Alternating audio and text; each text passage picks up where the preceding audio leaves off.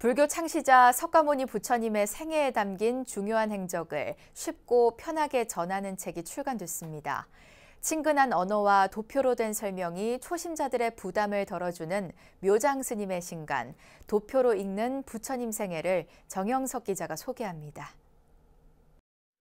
현대 사회에도 여전히 정착되지 않은 성평등 문화, 여성의 권리를 위한 다양한 정책들은 결국 불평등과 차별이 존재함을 의미합니다.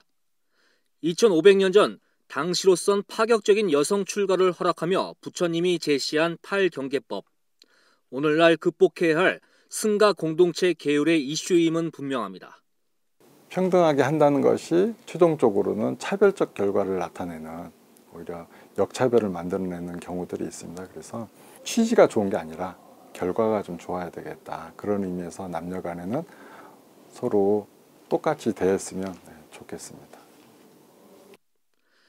SNS, 교계 언론을 통해 불교를 알리는데 왕성한 활동을 펼치고 있는 묘장 스님이 이번엔 도표로 읽는 부처님 생애란 제목의 책으로 독자와의 만남을 이었습니다.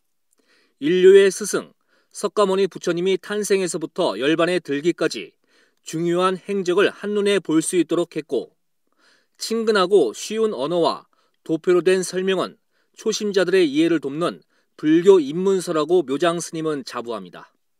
불자들한테는 이제 이 이렇게 부처님의 생애로서 어, 불교를 입문하는 것이 가장 좋다고 생각을 하고 이제 뭐 불자들이 이것을 읽다 보면 아, 자연스럽게 내가 어떻게 살아가야 할 것인가 이런 것이 자연스럽게 드러나지 않을까. 어, 굳이 내가 이렇게 살아라라는 말보다 이제 이 책을 읽으신 분들은 오직 부처님의 행위만 좀 집중하셨으면 좋겠다라는 생각을 합니다. 불교의 국제구호 전문가로도 유명한 묘장 스님은 빈곤에 허덕이는 사람들을 구제하는 방법으로 국경 없는 세상에 관한 철학을 책을 통해 풀어냈습니다. 우리 사회에 만연한 갈등을 해소할 해법으로는 자리이타 정신이 담긴 3계 계고 아당안지 가르침도 전합니다. 다른 분들은 천상천하 유아 독전에 집중하는데 저는 3계 계고 아당안지 모든 중생이 고통받고 있으니 내 마땅히를 편안케 하리라.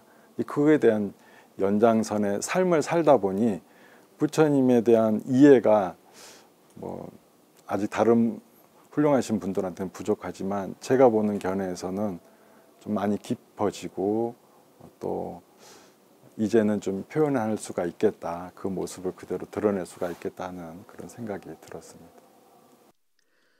부처님의 발자취를 세심하게 살펴 초인간적인 모습을 담아낸 이 책은 부처님의 삶에 한 걸음 다가가는 다리를 놓고 있습니다. BBS 뉴스 정효석입니다.